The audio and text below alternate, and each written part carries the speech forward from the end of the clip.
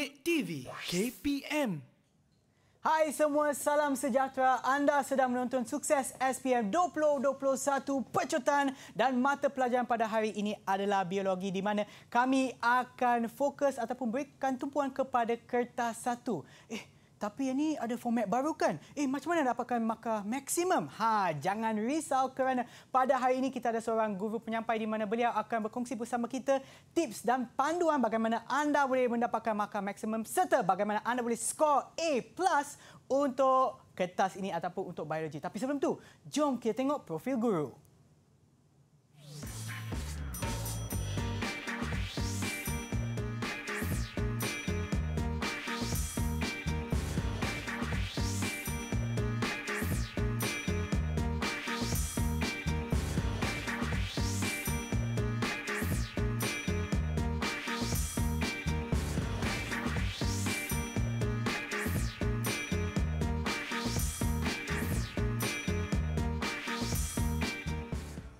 Dan guru penyampai untuk hari ini dipersilakan Cikgu Farid daripada SMK Aikeroh Melaka.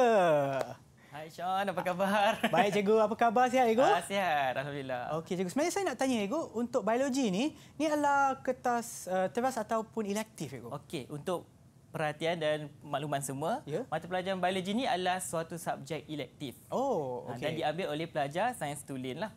Ah, okey. Jadi biasanya murid-murid akan ambil subjek fizik, Ya. kimia dan biologi. Ah. Ah, kemudian ada juga yang mengambil fizik dan kimia. Tapi Ya. biologi ni adalah satu mata pelajaran yang borders dan ada kaitan juga dengan fizik dan juga kimia. Okey, Ah. baiklah Cikgu, jom kita mulakan um, pembelajaran kita pada hari ini. Cikgu, silakan. Okey, boleh. Terima kasih, Sean. Jadi murid-murid sekalian, Assalamualaikum warahmatullahi wabarakatuh dan salam sejahtera. Jadi hari ini saya Cikgu Farid dari SMK Aikeroh Melaka akan membawa anda semua untuk kita sama-sama melakukan pecutan untuk SPM 2021. Jadi untuk yang pertama, je, Sean, kita akan pergi kepada ini. Ya Cikgu? Ha. Ah, mungkin butang lagi satu Cikgu. Ah, Okey. ya. Okey.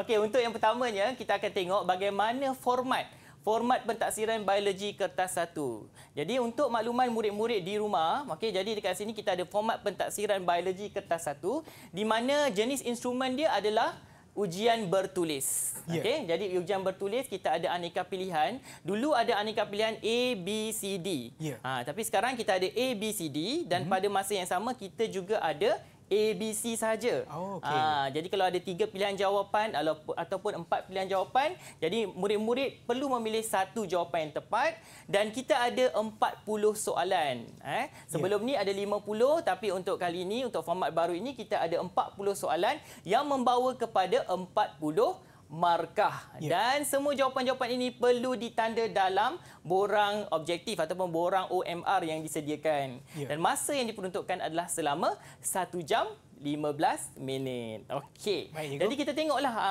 berkaitan dengan format ni kita tengok construct. Ha, construct ni difahami oleh guru-guru lah biasanya. Okey. Jadi dekat sini kita ada construct untuk mengingat ada 15, kita ada memahami ada 15, mengaplikasi ada 8 dan kita ada tambah satu lagi iaitu menganalisis ada dua soalan. Jadi jumlah keseluruhan dekat sini ada berapa Sean? Uh, 40 ya. Ah kita ada 40 soalan. Yeah. Jadi kalau kita nak skor dalam kertas satu ni cukup cukup mudah sebenarnya. Ya. Macam mana kita nak skor kertas satu? Kita tengok dekat sini ki- 30 soalan ni saja kita dah boleh kuasai. Ah. Ha, kalau ikutkan aras kesukaran dia mungkin aras rendah. Ya. Ha, jadi kalau dah 30 tambah lagi dengan 8 campur 2 ni 10 dah tentu-tentu murid dapat 40 per 40. Wow, okey. Jadi senang saja nak dapatkan A dalam biologi kertas satu ni, hendaklah skor kertas satu iaitu mendapat sekurang-kurangnya 30 dan ke atas. Tapi kalau kita nak dapat A+, kita kena lebih lah. 38, 37 dan ke atas lah. Ya. Okey. Jadi dekat sini kita tengok kod dia 4551 uh, strok 1. Kemudian dia ada standard kandungan dan standard pembelajaran dalam DSKP adalah cakupan ataupun apa yang akan ditanya dalam kertas satu tersebut. Okey. Jadi dekat sini ada 20 markah rendah, sederhana dan juga tinggi. Dan murid-murid juga boleh membawa kalkulator saintifik masuk ke dalam Dewan Peperiksaan untuk menjawab kertas satu. Okey, Sean, jelas eh format? Okey, jelas, cikgu. Jelas, jelas. Format jelas, jadi kita pergi kepada bagaimana kita nak menguasai kertas satu ni, Sean. Ah, ini Ah, penting. Nampak cikgu. macam senang kan? Oh, Ah. ada jawapan dekat situ. Dan Kita pilih je. Lepas tu kita terus tanda. Tapi sebenarnya murid-murid dalam biologi kertas satu ni, kita ada beberapa tips penting yang boleh membantu murid-murid untuk mendapatkan markah maksimum dalam kertas satu ni. Okey, kita lihat tips yang boleh diberikan oleh saya pada petang ini adalah okey yang pertama kita tengok kuasai semua konsep asas dalam biologi. Apa konsep asas dalam biologi? Ya. Ha, kita ada konsep pembahagian sel. Ha, kita ada mitosis, kita ada meiosis, kita ada komponen-komponen sel. Jadi benda-benda tu murid-murid kena tahu dan kena kuasai dengan baik. Ya. Bila kuasai dengan baik, maka dia dapat jawab konsep-konsep asas yang biasanya ditanya dalam biologi. Okey, yang kedua, kuasai gambar rajah, label dan fungsi. Ha, untuk pengetahuan Sean, biologi ni dia banyak gambar. Ya, betul, Betul Ibu. eh, ada Ya. banyak gambar dan biasanya kalau murid dapat kuasai gambar-gambar ini, dapat kuasai dia punya label dan juga fungsi, saya yakin dan percaya A tu dalam genggaman. Ya. Ha, bila kita ta- tahu gambar tu, kita akan tahu konsep. Bila kita tahu konsep, kita akan tahu proses. Jadi benda ni akan membantu murid-murid untuk mendapat A dalam mata pelajaran biologi. Okey, yang ketiga, kita ada kuasai istilah yang tepat dan ejaan yang betul. Ah. Ha. Jadi ada pelajar dia sambil lewa kalau ada bab-bab istilah tu eh dengan ejaan yang salah. Mhm. Mm-hmm. Jadi menggunakan istilah yang tidak tepat eh contohnya macam larutan. Kita ada Ya. tiga jenis larutan, hypotonic, hypertonic dan juga isotonic. Ya. Jadi kadang-kadang kalau pelajar tu keliru dia dah tersalah letak jenis larutan. Ah. Ha jadi dekat situ istilah dia dah tidak tepat. Walaupun penerangan yang lain tu betul tapi istilah dia tak tepat dia akan mengurangkan markah. Tapi betul. dekat sini kalau konsep tu dah salah Ya. dia tidak boleh membantu dalam kertas satu. Oh, Okey, ya faham betul. Action? Ah, faham, Ibu. jadi tiga benda ni ah, baru tiga lah. Okey. Kita ada yang keempat. Mhm. Kuasai proses, mekanisme dan tindak balas. Okey, sebagai contoh. Ya. Kita ada mekanisme pembekuan darah. Ah, kalau kita terluka, Sean. Ya. Darah kita akan membeku betul? Ah, betul. Tapi dalam biologi bila kita terluka ada mekanisme tertentu Ya. yang menjadikan pembekuan darah tu berlaku pada diri kita. Ya. Ha, okey. Jadi kita ada tindak balas. Contoh tindak balas kita ada tindak balas yang bersandarkan cahaya dan tindak balas yang tidak bersandarkan cahaya. Ha, itu belajar dalam biologi tingkatan 5 lah berkaitan dengan fotosintesis. Sintesis. Ha, senang kan? Jadi kalau murid-murid dapat kuasai empat benda ini, insya-Allah dia akan membantu untuk menjawab kertas satu dan juga kertas dua sebenarnya. Ya. Ha, sebab konsep asas dah kuasai, apa lagi kan? Konsep uh, kertas dua tu jadi benda yang sangat mudah bagi dia untuk jawab nanti. Okey. Kita ada satu lagi. Ah, ada, Ibu. Ah, Okey. Satu lagi ni Mhm. nampak macam tak penting tapi sebenarnya penting. Okey, Okey. apa dia? Kita faham dan ingat formula dalam biologi. Oh. Harus diingatkan. Tadi kita ada bawa kalkulator saintifik, betul? Ya, cikgu. Jadi kalau kita ada bawa kalkulator saintifik, dah tentu-tentulah mungkin ada soalan yang melibatkan pengiraan. Pengiraan. So bila ada soalan yang melibatkan pengiraan ini, okey, ada beberapa formula yang perlu murid-murid kuasai dengan baik. Sebagai contoh, kita ada nilai tenaga dalam sampel makanan bab 9 nutrisi. Kita ada kepekatan vitamin C. Itu juga bab nutrisi. Ya. Peratus vitamin C, peratus litupan, saiz populasi, kekerapan atau frekuensi dan juga kepadatan. Yang ini tingkatan 5. Okey, yang ini tingkatan 5 lah yang saya tik-tik ni sebenarnya tingkatan 5. Ha, ini adalah formula asas. Ya. Dalam biologi, dia tidak memberikan formula khusus untuk pelajar mengira. Jadi pelajar kena tahu macam mana nak dapatkan jawapan yang berbentuk pengiraan ini. Ha, Ah. Jadi kita akan tengoklah selepas ni. Mungkin saya akan tunjukkan contoh-contoh untuk murid-murid tahu, oh sebenarnya kalau keluar soalan ni dia nak tanya, dia berkaitan dengan peratus, contoh. Ha, Jadi bila kuasai semua formula ni, insya-Allah soalan pengiraan dah tak jadi masalah Ya, bagi sememangnya boleh cikgu dengan bantuan cikgu dan juga dari, uh, panduan yang diberikan oleh cikgu tadi memang kita boleh skor tinggi Ah. dalam kertas satu bagi biologi. Tapi sebelum itu kita akan berehat seketika dan kembali semula kepada sukses SPM 2021 Pecutan. TV KPM. Anda sedang menonton sukses SPM 2021 Pecutan di mana hari ini kami akan tumpukan kepada mata pelajaran biologi ataupun biologi uh, kertas satu. Okey cikgu, jom kita teruskan. Okey, terima kasih Sean. Jadi murid-murid yang berada di rumah anda bersama saya Cikgu Muhammad Farid dari SMK Aikeroh. Kita akan lihat bagaimana untuk kita skor kertas satu. Okey. Kertas satu yang begitu mudah ni lah ya Sean. Okey, Ya, kita lihat. Yang pertama, saya bagi contoh soalan yang berbentuk pengiraan. Okey, jadi dekat sini murid-murid kita lihat soalan dia adalah maklumat berikut menunjukkan keputusan eksperimen untuk menentukan nilai tenaga bagi kacang tanah. Tentukan nilai kalori bagi kacang tanah tersebut. Jadi berdasarkan soalan ini telah diberikan jadual untuk membantu murid-murid dalam pengiraan. Kita ada jisim kacang tanah 2 gram, Isi padu air suling ada 20 ml. Kita ada suhu awal 30 dan suhu akhir selepas pembakaran kacang berlaku adalah 74 dan muatan haba tentu bagi air adalah 4.2. Okey, jadi dekat sini murid perlu mengira nilai kalori kacang tanah. Bagaimana nak kira? Mesti tahu formula. Okey, jadi formula yang kita boleh gunakan di sini adalah nilai tenaga makanan. Kita akan menggunakan jisim air. Jadi dekat sini kalau jisim air itu kita boleh masukkan 20 Okey, 4.2 joule per gram per darjah Celsius. Peningkatan suhu ini kita perlu, buat sedikit pengiraan. Iaitu 74 ni kita tolakkan dengan 30. Okey, kita akan dapat nilai 44. Kemudian kita akan bahagikan dengan jisim sampel makanan.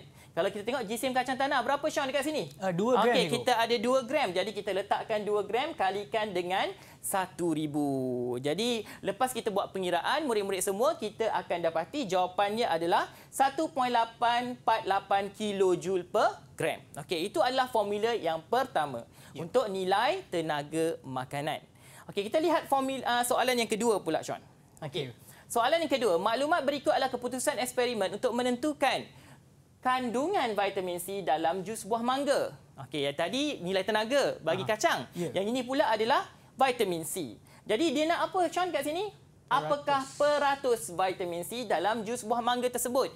Jadi macam mana kita nak kira? Mesti tahu formula. Okey, jadi dekat sini isi padu mangga yang digunakan untuk melunturkan warna 1 cm padu larutan di CPIP adalah 3.4. Ini maklumat penting yang diberi dalam kertas soalan. Saya cadangkan murid-murid untuk gariskan ataupun gunakan highlighter untuk membantu murid-murid. Okey, isi padu larutan di CPIP diberi adalah 1.0 dan isi padu larutan asid askorbik eh 0.1% untuk melunturkan warna 1 cm padu di CPIP adalah sebanyak 1.3.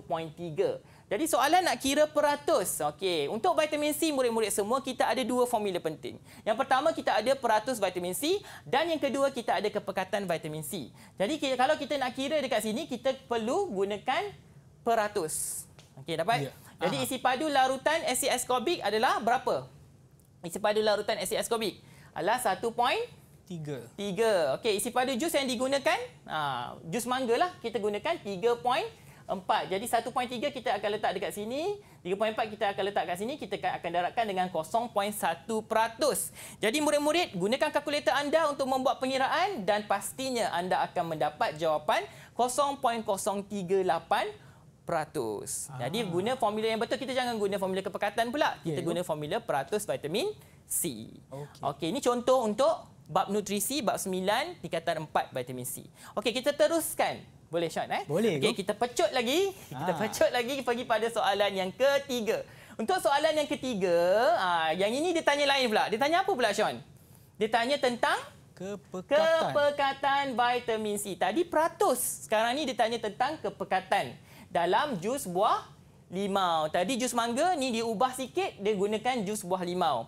Okey, maklumat masih lagi diberi dalam soalan yang boleh membantu murid-murid iaitu 1.0 dan juga 4.9. Jadi saya tunjukkan formula sekali lagi untuk murid-murid faham iaitu kita menggunakan formula kepekatan vitamin C iaitu isi padu asid askorbik. Jadi dekat sini dah ada dah.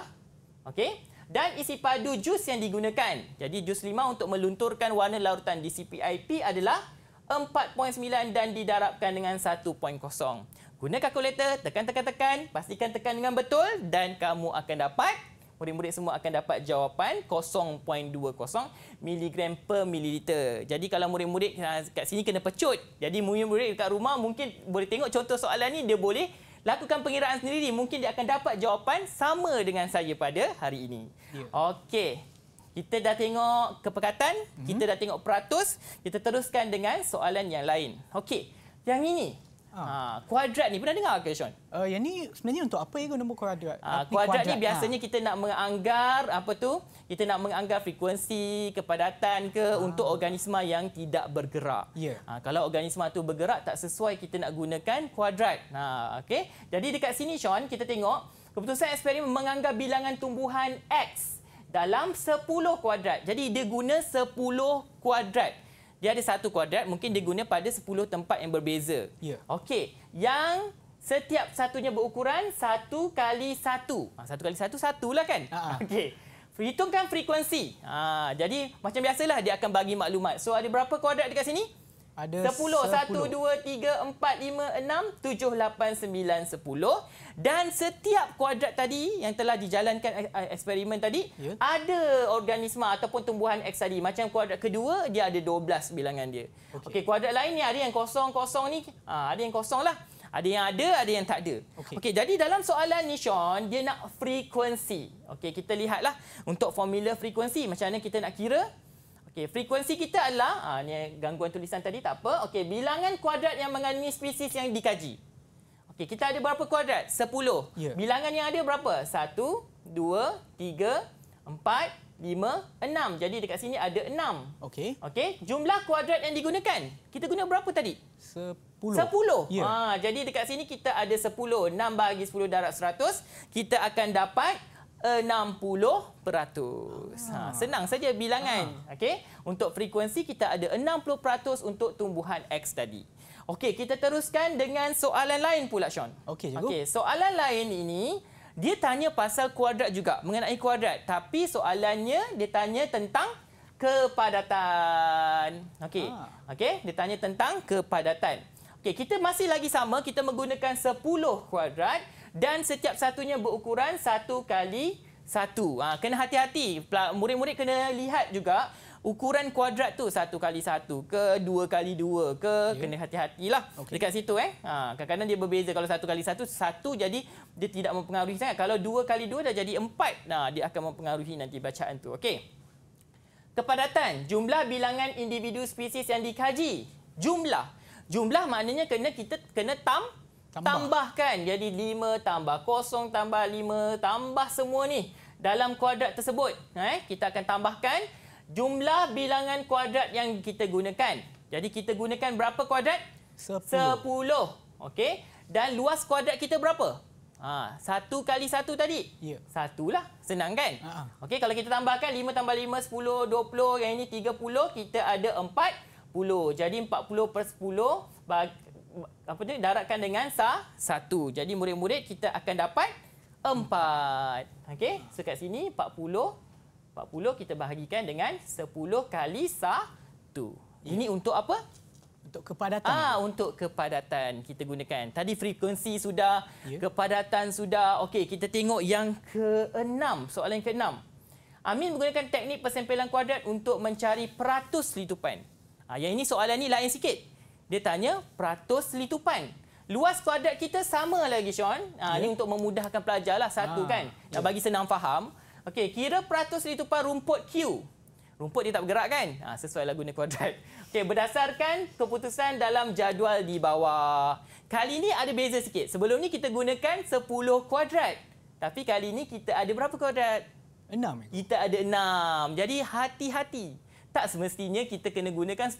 Kita boleh guna 5, kita boleh guna uh, 15, okey? Hmm. Jadi kena hati-hati. Okey, untuk mengira peratus litupan yang dikendaki dalam soalan ini, murid-murid semua kena tahu formula peratus litupan. Okey, apa formula peratus litupan? Iaitu luas kawasan yang diliputi oleh spesies yang dikaji bahagikan dengan jumlah bilangan kuadrat yang diguna kali satu kali luas satu kuadrat. Okey. So macam mana? Kita tambahkan semua ni. Ha ni kena tambahkanlah. Tambahkan, dapatkan nilai sama dengan y. Contoh eh, saya buat kat sini. So y tadi kita akan bahagikan dengan kuadrat yang diguna. Kita ada 6 kalikan dengan luas satu kuadrat iaitu satu kali satu. Ha kali satu lah. Ah. Okey. Ya. Darabkan dengan 100. Ha, okey, jadi murid-murid tambahkan semua ni, bagikan dengan 6 darab 100, kita akan dapat 37.8%. Okey. Okey, itu untuk soalan berbentuk pengiraan. Okay. Formula. Ya. Okey. Nombor tujuh. Ha, ini mungkin formula yang terakhir. Yang ini popular juga. Menganggar saiz populasi siput. Ha, eh, siput banyak kan dekat rumah kita kadang-kadang duduk, celah-celah pasu. Eh, banyak dekat sini, dekat sana. Eh. Jadi kita nak anggar berapa banyak siput sebenarnya. Ya. Jadi untuk menganggar saiz siput tu Sean, kita boleh menggunakan formula untuk mengira saiz populasi siput. Kita ada, jadi kita kena buat apa? Kita kena buat tangkapan lah, tangkap dulu. Contohlah kita buat tangkapan pertama, kita buat 45. Kita tandakan siput-siput tu. Ha, kena tandakan lah. Okey. Okay. Lepas tu kita akan lepaskan pada habitat asal.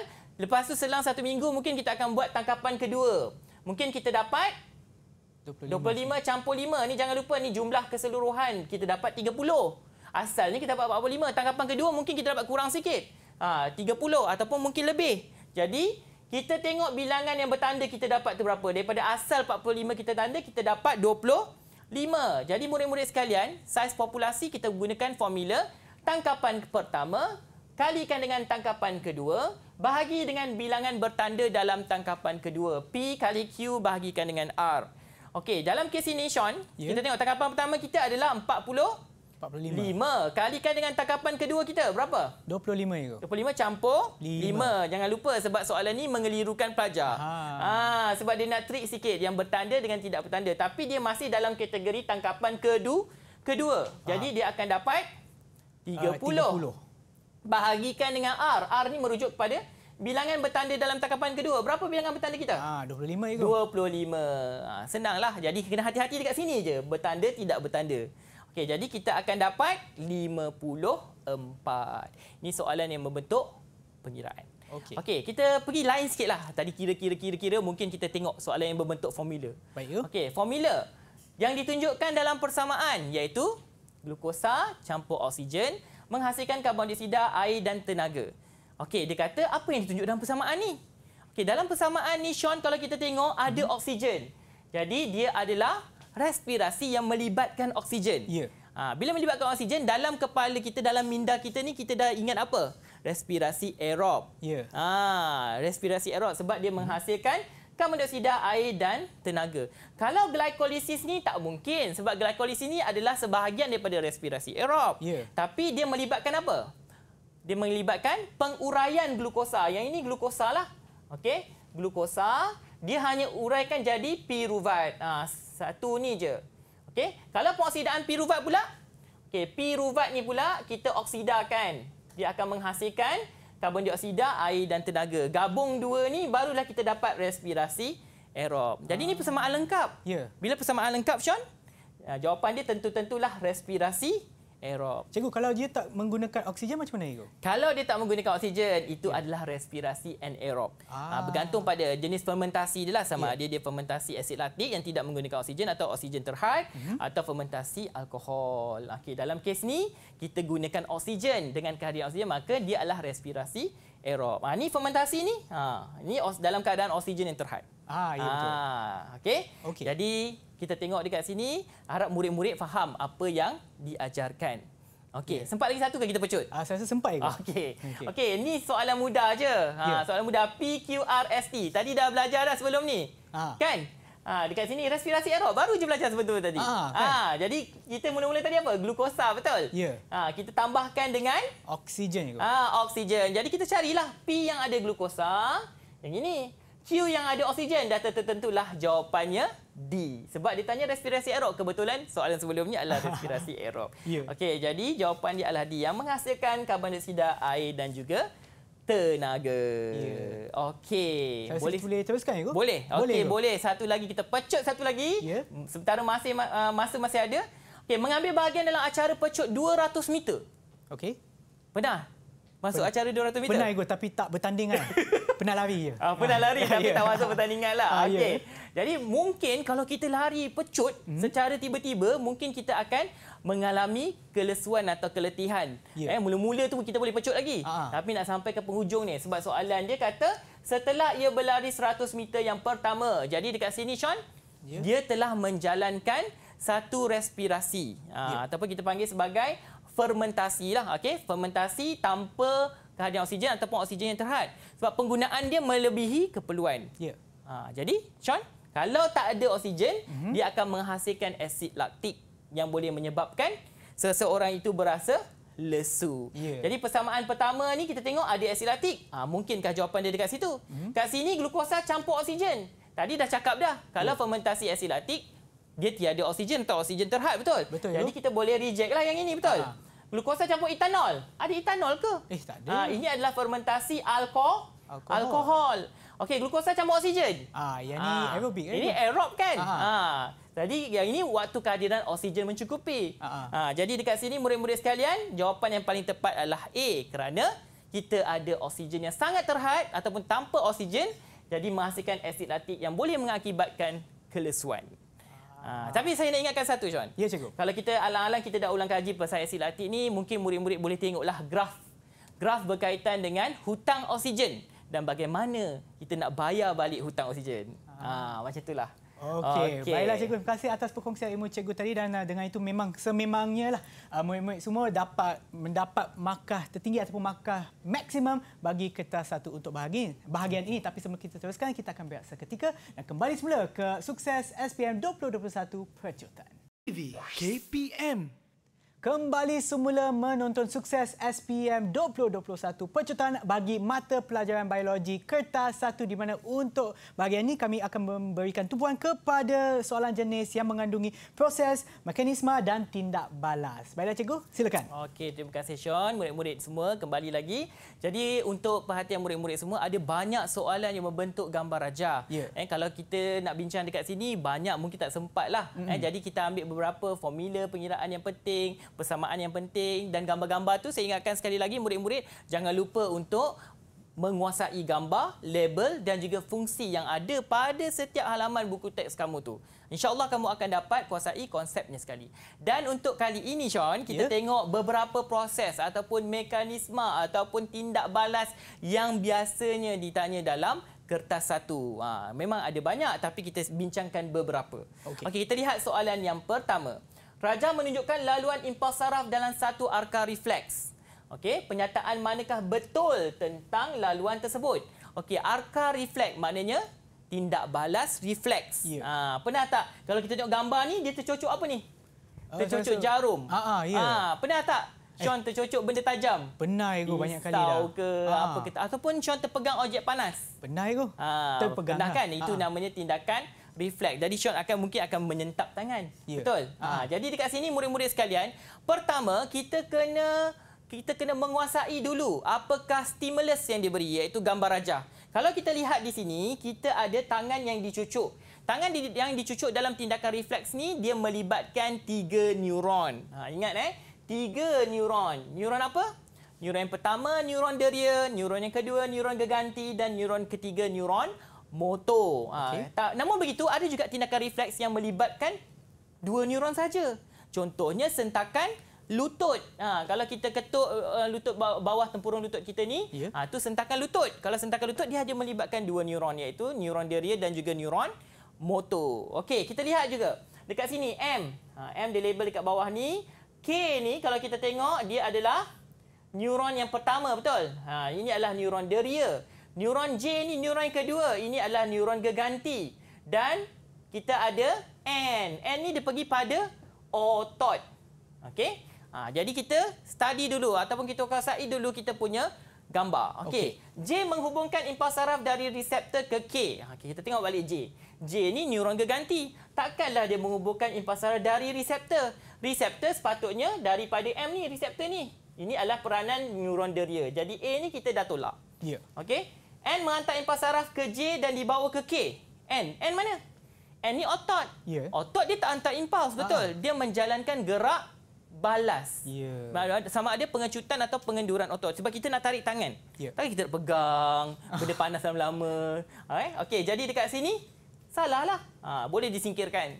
Okey, M mengakibatkan jari bergerak balas. Kita tengok M. M ni reseptor mula-mula. Takkan dia bergerak balas? Hmm. Kan? Ya. Dia adalah mendapat rangsangan tersebut, betul? Untuk Ya. mencetuskan impuls saraf. Jadi M ni pun salah. N mengakibatkan tangan bergerak balas. N tadi apa Sean? N ni? Otot cikgu. Otot. Betul Ya. tak dia bergerak balas? Betul cikgu. Betul. Jadi murid-murid kita lihat semua pilihan jawapan yang ada. Sikirkan satu-satu. Jangan gopoh gapah. Jangan terburu-buru. Ha, sebab ada pelajar dia tengok macam ni dia ambil mudah. Ha, bila dia ambil mudah, dia tersalah singkir jawapan yang sepatutnya betul, dia singkirkan awal-awal. Okey, jadi jawapan yang paling tepat adalah D. Okey, okay, ini adalah apa? Sean tadi, ini adalah tindakan re refleks. Ya. Okey, jadi harus diingatkan murid-murid selain daripada arka refleks ataupun laluan tindakan refleks ini, murid-murid harus menguasai tentang kepentingan tindakan refleks. Okey, ha, struktur neuron tu mesti mahir dan perlu kuasai. Okey, kita terus pecut pada soalan yang kedua. Seorang peladang berhadapan dengan seekor harimau.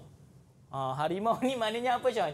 Binatang yang ganas, Ya. garang, karnivor, makan manusia. Ha, kalau jumpa harimau, Ha? ha, jumpa Larilah harimau depan-depan. Ya. Ha, kalau dan sangka tak apa kan, Sean? Ha. Ha, jadi rasanya apa Sean akan buat? Saya akan lari go. saya akan cabut. akan lari. Ya. ya. Jadi ini satu situasi yang sama ada kita kita nak apa? Lawan atau lari. Ya. Ha, sama ada kamu bertenaga untuk lawan harimau tu ataupun kamu lari terus. Ha, ini situasi cemas. So apakah tindak balas yang berlaku dalam badan ketika menghadapi situasi yang menakutkan ini? Ha, kalau kita jumpa sesuatu benda yang menakutkan kita, mungkin uh, Sean mungkin dalam sekolah rendah ke sekolah menengah mungkin pernah dipa- dipanggil naik ke atas petang bagi ucapan secara tiba-tiba. Ah, Ha, pernah. jadi benda tu adalah sesuatu yang, Yang- ki- uh, menggelisahkan kita kan, betul? Ya, cikgu. jadi kita akan mudah apa? Berpeluh-peluh, betul? Ah, Ah, betul, mungkin tangan kita akan berpeluh basah sebab kita degupan jantung kita akan jadi laju dan sebagainya. Ya. Jadi kita tengok tindak balas ini sebenarnya murid-murid diakibatkan eh kesan daripada tindakan hormon yang berlaku dalam badan. Bila jumpa harimau yang di ladang kelapa sawit miliknya, eh takkanlah harimau tu jinak tiba-tiba. ha, mestilah dia. Ah, dia takut pada harimau tersebut kan. Ya. Ah, okey, sekarang ni kita tengok rembesan adrenalina bertambah. Adrenalina ni kalau dia bertambah, Mhm. fungsi dia apa? Dia akan meningkatkan degupan Uh, jantung. degupan jantung. Ya. Okey. Rembesan thyroxina. Kita tengok thyroxina ni hormon yang dirembeskan oleh kelenjar tiroid.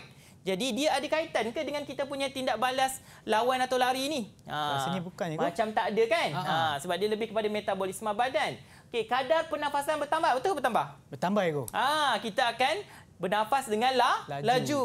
Kadar jintan jantung menurun. Eh, Macam pelik bukan. kan? Ah, bila kita tengok dekat sini, kita dapat tahu satu dan tiga ni adalah pilihan jawapan yang tepat. Okey, jadi kita singkirkan mana yang tidak berkaitan dan kita pilih satu jawapan yang tepat. Iaitu tindak balas untuk uh, kita kata apa tadi, lawan ataupun lari.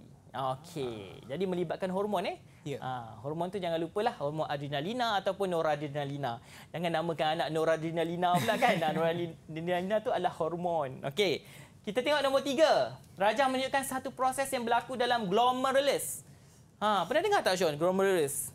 uh, macam pernah ego. Macam pernah kan? Ah. Dah lama dah tinggalkan biologi ni kan. Okey, untuk glomerulus kita tengok dekat sini menghasilkan cecair X. Okey, bahan manakah yang terdapat dalam cecair X? Okey, kita lihat dekat sini murid-murid semua. Gambar ni memberi, uh, memberi menerangkan tentang glomerulus. Dekat sini kita dah boleh dah buat penerangan ringkas. Iaitu yang pertama dekat sini glomerulus adalah yang ini yang saya labelkan sebagai G ni. Ini adalah glomerulus. Glomerulus ni dia mempunyai tekanan hidrostatik yang tinggi. Kesan daripada perbezaan arteriol, eh, efferent dan juga efferent. Maka tekanan tu akan menjadi tinggi. Jadi ada bahan yang akan terturas keluar masuk ke bentuk C ni. Bentuk C ni kita panggil sebagai kapsul Bowman. Ha, kapsul Bowman. Ha, jadi proses ini berlaku di ginjal. Ah, Ah, buah okey. pinggang kita ni. Ya. Ah, buah pinggang kita ni biasanya dia nak menghasilkan air kencing, betul? Ya, betul. Penghasilan air kencing. Jadi proses ini adalah proses penghasilan atau pembentukan air kencing. Tapi disebabkan ditanya satu bahagian saja, ah, dia berlaku di glomerulus dan juga kapsul Bowman, maka ini adalah proses ultraturasan. Okey, ingat eh, proses ultraturasan. Kalau kita tengok eh murid-murid semua, ko- soalan ginjal ni pun famous juga, ah, terkenal. Ah. Okey, dia boleh tanya ultraturasan, dia boleh tanya penyerapan semula, rembesan dan akhirnya pembentukan air kencing. Sama ada air kencing kita keluar sedikit dan pekat ataupun banyak dan cair. Cair. Bergantung pada jumlah air yang kita minum. Uh-huh. Ha, ataupun makanan yang kita makan. Kalau garam berlebihan pun tak boleh juga, betul? Ya. Ha, jadi dia akan mempengaruhi kita punya penghasilan air kencing. Okey, jadi murid-murid semua, kita tengok bahan mana yang terdapat dalam cecair X. Ha, adakah glukosa, asid amino, eritrosit dan protein plasma? Ha, maknanya bahan yang terturas ni mestilah bahan yang kecil. Ya. Mudah untuk terturas. Okey, kita lihat dekat sini. Pilihan jawapan dia adalah satu dan dua. Glukosa dan asid amino boleh terturas ke dalam kapsul Bowman. Ha, kenapa eritrosit dan protein plasma tak boleh? Ha, kerana protein plasma dan eritrosit ni adalah satu molekul yang besar. Oh. Bila besar dia tidak boleh terturas eh, daripada glomerulus kepada kapsul Bowman. Jadi kalau kita tengok soalan ni kita boleh kita boleh baca yang lain-lain eh yang lain macam tadi yang ini atur-aturasan kita boleh fokus pada proses pengosmo kawal aturan secara keseluruhan. Okey, penghasilan air kencilan maksud saya tadi eh. Okey. Jadi kita teruskan kepada soalan yang keempat. Raja menunjukkan gerak balas kulit dalam persekitaran yang sejuk. Ha, studio ni nampak sejuk kan? Ah, Kalau sejuk biasanya bulu roma kita ni adalah dalam keadaan condong ke tegak? Tegak. Ah, tegak kan? Ya. Okey. Jadi dalam keadaan tegak. Tapi soalan ni dia tanya lain. Dia tanya apakah yang akan berlaku jika struktur X tadi dicukur? Ah, bulu roma atau rambut yang berada pada badan kita ni kita cukur dia. Ah, potong. Ah. Okey, bila cukur kalau kita tengok, kalau dalam keadaan sejuk, hmm. bulu roma kita tegak. Ya. Kenapa bulu roma kita tegak, Sean? Sebab dia nak perangkap Haba ya. Ha, perangkap udara dulu. Lapisan udara yang tebal tu dia perlu perangkap. Ya. Uh, supaya haba tu akan bertindak sebagai penebat dalam dalam badan kita lah. Ha, Ya. barulah haba tu tidak tersebar ke persekitaran. Tapi kalau dah cukup, hmm. bolehkah kita perangkap haba tu? Tu. jadi logiknya dekat sini soalan ni berbentuk negatif. Sebelum ni dia menjalankan fungsinya tapi tiba-tiba tak ada, Ha. maka dia akan jadi soalan negatif. Okey, kita tengok. Jadi, otot erector tidak boleh mengecut. Ha, ini tak ada kaitan lah. Kelenjar peluh menjadi lebih aktif.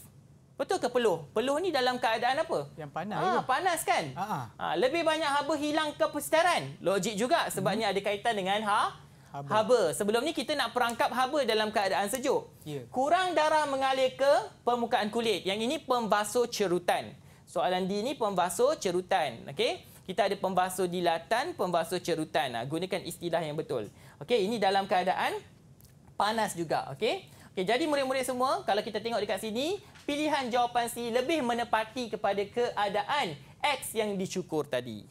Ha, jadi murid-murid semua kena biasakan dengan soalan-soalan yang berbentuk negatif. Negatif maksud saya dekat sini bukannya negatif apa eh. Ah. Negatif tu maksud saya sebelum ni dia boleh menjalankan fungsi tiba-tiba ada satu benda yang tak berfungsi. Ya. Ada satu komponen tidak berfungsi, ada satu proses yang dia tertinggal dan sebagainya. Jadi murid-murid kena biasakan dengan perkataan tidak ataupun proses yang tiada, tidak berlaku eh. Okey. Pe- Pecutan kita pergi pada soalan yang kelima. Baik, cikgu. Okey. PQRS adalah peringkat-peringkat dalam mekanisme pembekuan darah. Kenapa darah kita perlu membeku, Sean?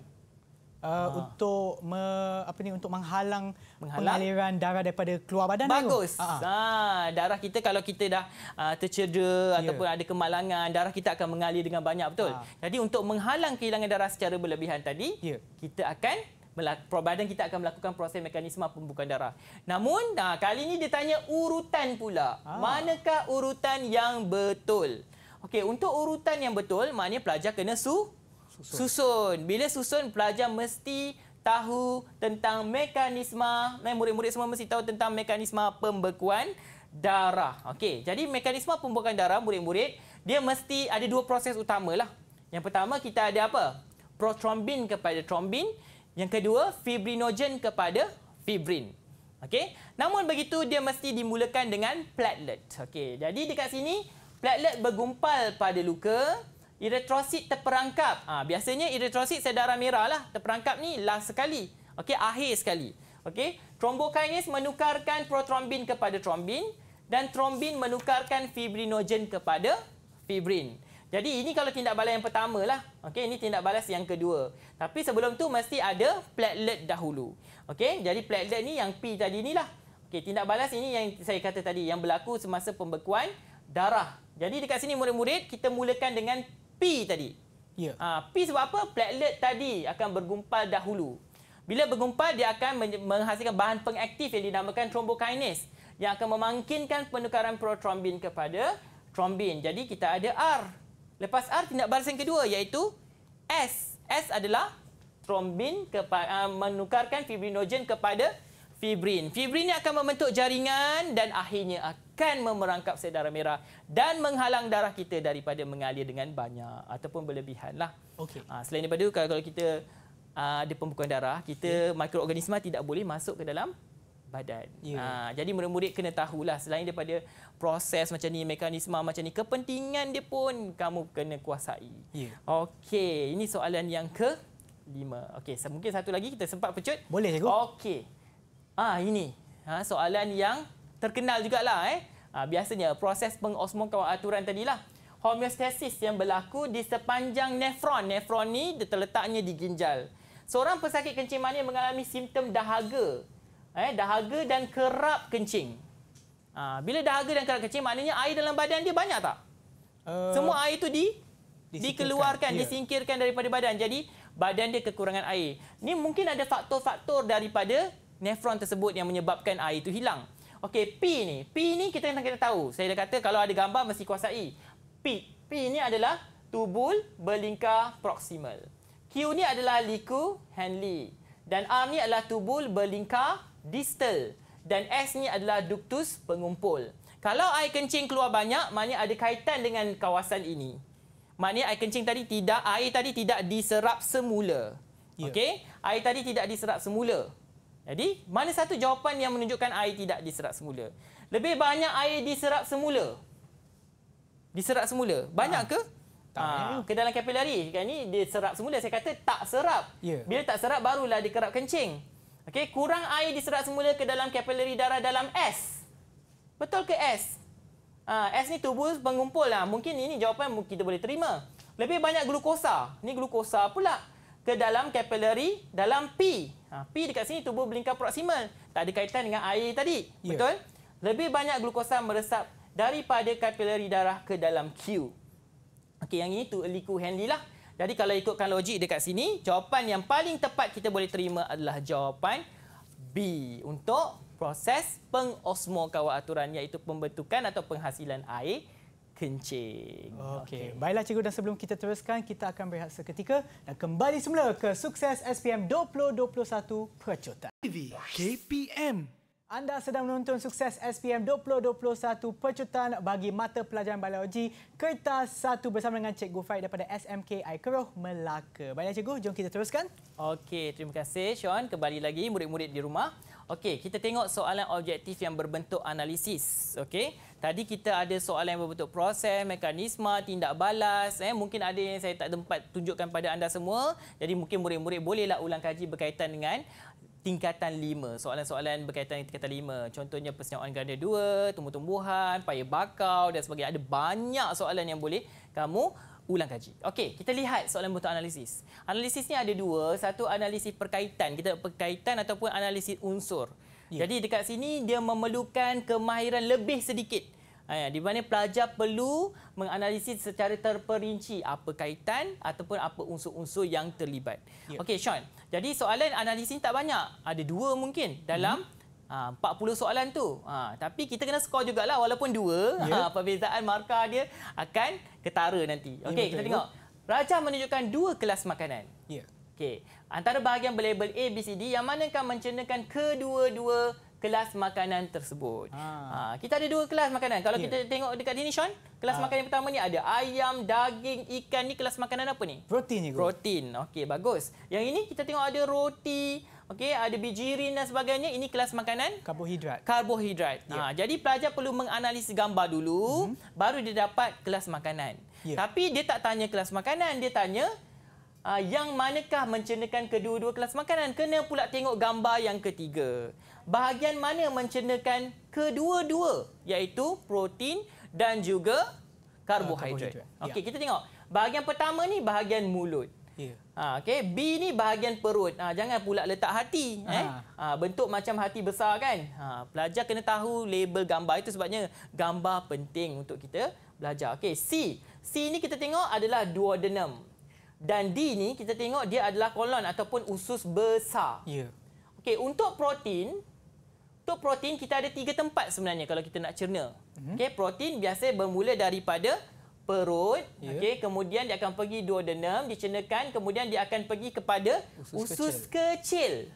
Jadi ini usus besar ni kita dah boleh reject. Ha. Ha, nampak? Okey. Okey. Kemudian kita ada uh, karbohidrat. Okey, saya tarik sini. Karbohidrat. Kalau karbohidrat dia ada tiga tempat sama macam protein. Mm-hmm. Okey, iaitu apa? Uh, mulut ego. Ah, bagus. Mulut pergi pada pergi pada duodenum, pergi pada usus kecil. Okey? Jadi yang sama dekat sini P uh, perut dengan mulut tak sama. Ni D dengan D, duodenum dengan duodenum. Ya, Betul? betul. Jadi duodenum terletaknya label pada C. pada C. Okey. Kalau kita tengok polipeptida akan dihidrolisis lah. Okey. Dan kepada peptida kalau uh, uh, karbohidrat tadi pula uh, kita akan tengok kanji akan dihidrolisis kepada maltosa. Ya. Ha, jadi dekat sini kena tahu proses uh, kalau boleh pelajar kuasai enzim-enzim penting yang ada dalam proses pencernaan. Kita ada tiga je pencernaan yang perlu kuasai. Protein, karbohidrat, lipid dan kenal pasti tempat-tempat berlakunya pencernaan tersebut, kenal pasti enzim-enzim yang digunakan dan hasil yang terbentuk. InsyaAllah kamu akan kuasai semua proses pencernaan. Jadi jawapan dia apa, Sean tadi? C cikgu. Ah, C. C adalah jawapan yang kita lihat. C adalah jawapan untuk soalan pencernaan ini. Okey. Ah, nampak? Lama sikitlah kita nak analisis tu kan? Ya. Ah, kita nak tengok satu-satu perkaitan dia apa semua. Mhm. Baru kita dapat dia punya kesimpulan ataupun jawapan yang paling ter Tepat. Okey. Kita lihat soalan yang kedua. Okey, soalan yang kedua. Jadual menunjukkan satu contoh menu ka- kalori yang tinggi dia dah bagi kat sini. Dicadangkan untuk individu yang menghidap penyakit tertentu. Mm-hmm. Okey, individu yang manakah sesuai mengamalkan diet seperti dalam jadual. Okey, dia ada spaghetti bijirin. Kita ada nasi ayam, kita ada bubur ubi keledek, kita ada ubi kayu rebus, jus buah-buahan, kita ada susu suplemen khas, nampak? Mm-hmm. Okey, kita ada bayam dan brokoli. Okey, individu yang obes, takkan dia nak makan semua makanan yang mengandungi kalori yang tinggi ini? Secara Ya. logiknya, betul? Betul. Ha. Yang kedua, individu yang diabetes mellitus. Kencing manis, karbohidrat pun boleh tukar pada gula kan yang akan meningkatkan paras gula dalam darah. Ya. Jadi dekat sini secara logik ni kita boleh terima tak individu yang kedua ni? Tak boleh. Ha. Pesakit kanser. Ha, sebab dekat sini ada logiknya sebab apa? Kita ada suplemen khas untuk pesakit kanser berdasarkan pinggan sihat Malaysia. Ha, ini menu yang dicadangkan berdasarkan pinggan sihat Malaysia. Kita ada pinggan sihat Malaysia yang suku suku, Suku separuh. separuh. Ya. Ha, itu ter, ada dalam silibus biologi tingkatan 4 dan tingkatan 5 ni. Okey. Suku-suku separuh. Mm-hmm. Jadi ini analisis perkaitan kita tengok, okey. Dan pesakit jantung. Pesakit jantung ni dia kena makan makanan yang kurang lemak. Tapi disebabkan adanya suplemen khas, adanya makanan karbohidrat, jadi pesakit kanser ni memerlukan banyak tenaga mm-hmm. untuk pastikan dia boleh merawat kanser tersebut eh melakukan rawatan kemoterapi dan sebagainya. Jadi secara logiknya jawapannya dekat sini adalah pesakit kanser. Okey. Okey. Ha, lama sikit kita kena tengok menu-menu. Sama juga dengan uh, menu untuk ibu mengandung, eh untuk Mhm. kanak-kanak, untuk orang dewasa, untuk atlet, menu dia berbeza-beza. Ya. Seperti yang dicadangkan oleh Pinggan Sihat Malaysia, suku-suku separuh. Ha, soalan glamour tu suku-suku separuh tu kan? Ha-ha. Okey. Dan mungkin soalan yang seterusnya, Ya, cikgu. Menunjukkan dua jenis akar. Ha. Ah, ini nampak tiba-tiba tumbuhan kan? Ha-ha. Akar pokok paya bakau di kawasan paya bakau. Antara A, B, C, D, yang manakah menerangkan perbezaan antara kedua-dua pokok M dan N? Okey, pokok M ni kita tengok. Ah ni akar dia ah tercucuk tegak-tegak-tegak kan? Ya. Yang ini pokok N ni ah dia bercabang-cabang. Jadi kalau kita ni kenal pasti dulu jenis akar. Okey, kalau M ni adalah pokok yang berada di zon garis pantai. Kita ada tiga zon. Nah, untuk pengetahuan Sean lah. Ya. Untuk Paya Bakau ni kita ada tiga zon. Pernah pergi Paya Bakau kan? Ah, pernah ego? Ah, di kawasan mana? Ah, dekat Taipei ego. Ah, Taiping. Taiping kita ada satu tempat kan? Ah, hutan Paya Bakau Laut Matang. Ah, dekat situ. Ya. Menarik tempatnya. Murid-murid boleh pergi eh bawa family pergi ke sana untuk melihat Paya Bakau dan pada malamnya boleh saksikan klip-klip. Oh, Ha, wow. okey. Ya. Jadi dekat sini kita tengok. Ah, yang ini akar yang berkaitan dengan pneumatophore. Akar respirasi dia. Mm-hmm. Yang ini adalah akar jangkang ataupun prop roots. Okey. Jadi dekat sini murid-murid ini adalah zon garis pantai. Zon garis pantai. Kalau akar yang kedua ni adalah zon tengah. Kita ada tiga zon. Okey. Zon belakang satu lagi. Dan dekat sini terletak di sepanjang sungai berdekatan muara, terletak di kawasan yang terdedah kepada ombak. Ah, betul ke? Ni muara sungai, yang ini pula ombak. Ha. Ha, salah lah kat situ kan? Ya. Okey, ni akar jangkang. Betul ke akar jangkang M ni? Ah, Ni bukan. pneumatophore kan? Ah. Ha, jadi kat sini kita dah boleh buang. Terletak di zon garis pantai. Zon garis pantai. Yang ni terletak di zon tengah. Betul ke? Kemungkinan. Yang ni Ya. jenis pokok Rhizophora dan jenis pokok adalah Avicennia. Yang ini kalau kita tengok pokok yang ada akar pneumatophore ni adalah pokok Avicennia, okey dan juga Soneratia. Kalau yang ini pokok akar jangkang ni adalah pokok Rhizophora dan pokok yang terakhir akar banir adalah pokok Bruguera. Kena tahu nama pokok tu dan jenis akarnya baru kita dapat kuasai paya bakau ni. Ya. Ha, zon dia, akar dia, nama pokok dia kena kuasai dengan baik. Jadi logiknya dekat sini jawapan dia adalah C. Tadi saya dah katakan yang ini zon garis pantai Ya. dan yang ini adalah zon tengah. Ah. Ha, jadi mudah saja. Eh, kita kena pasti. Cuma kena tengok satu-satu jawapan tu betul ke tidak dan ada mungkin ada jawapan yang hampir-hampir dekat dengan kita punya konsep yang ingin ditanya. Okey. Okey. Mungkin kita boleh teruskan dengan lagi satu soalan Ah, mungkin soalan yang terakhir. Ya. Ah, satu lagi soalan kan masa kita tengok dekat sini raja menunjukkan dua jenis tumbuhan M dan N. Ah, Okey, tumbuhan juga. Antara A, B, C, D yang manakah merupakan perbezaan antara tumbuhan M dan N? Okey, kita ada buah tembikai, Tembikai. dan kita ada Uh, pokok uh, Ah, hibiscus. kita ada pokok bunga raya. Ah, bunga betul? raya, ya. Pokok bunga raya. Jadi buah tembikai dan pokok bunga raya ni pelajar kena tahu eh apakah jenis tumbuhan tersebut. Adakah dia tumbuhan semusim ke, dui musim ke atau tumbuhan saka. Okey, Ya. untuk pengetahuan murid-murid eh kalau kamu rajin mengulang kaji kita tahu dah kalau tembikai ni dia mesti semusim. Okey? Kalau pokok bunga raya ni adalah tumbuhan saka. Okey? Saka. Okey. Tapi kita ada tumbuhan dui musim. Ha, dui musim contohnya macam lobak merah. Ha, macam tu. Okey. Okay. Dui musim maknanya dia ada dua kitaran. Dua musim. Ya. Okey, faham eh? Okey, merupakan tumbuhan semusim. Betul ke tumbuhan semusim? Ya, betul. Ah, semusim betul. Merupakan tumbuhan dua musim. Untuk N, bunga raya bukan dua itu. musim. Ya. Okey, mempunyai satu kitar hidup untuk semusim atau setahun, hidup lebih lama daripada daripada uh, apa? Hidup lebih daripada dua tahun dan mempunyai jangka hayat yang panjang. Betul ke ni? Ya. Ha, mungkinlah jawapan dia kan. Kita tengok yang lain dulu. Satu kitar hidup untuk semusim atau setahun mempunyai dua musim pertumbuhan. Yang ni salah lah. Ha, sebab kalau tumbuhan saka ni dia boleh, boleh hidup lebih daripada ha, dua tahun dan sebagainya. Lebih Tempoh hidup dia jangka hayat dia pan, Panjang. panjang. Okey. Terdiri daripada pertumbuhan tampang dan pembiakan. Ini untuk dui musim. Terdiri daripada tumbuhan berkayu saka. Yang ini dah betul. Tapi yang ini pula salah. Okey. Jadi dekat sini kita tengok pilihan jawapan yang paling tepat adalah B. Iaitu satu kitar hidup untuk semusim dan hidup lebih daripada dua tahun atau jangka hayat yang panjang untuk tumbuhan saka. Ah, Okey. okey. Ah, ini tu tumbuhan-tumbuhan ni biasanya pelajar pelajar kurang sikit minat daripada tumbuhan. Tapi sebenarnya kalau kita dekatkan diri dengan tumbuhan ni, Ya. kita akan lebih faham proses dan lebih menghargai. Ah, terutamanya minat kepada kelestarian alam sekitar kan. Ya. Ah, sekarang ni negara menuju ke arah kelestarian alam sekitar, jadi kita boleh kuasai tumbuhan dengan baik insya-Allah. Ya, betul. Okay. Terima kasih cikgu atas Okey. perkongsian ilmu cikgu pada hari ini dan harap kepada mereka yang akan menduduki SPM bagi kertas satu biologi. Uh, semoga berjaya kepada anda semua dan kita akan berjumpa lagi di episod yang seterusnya. Semoga berjaya. Okay, cikgu kita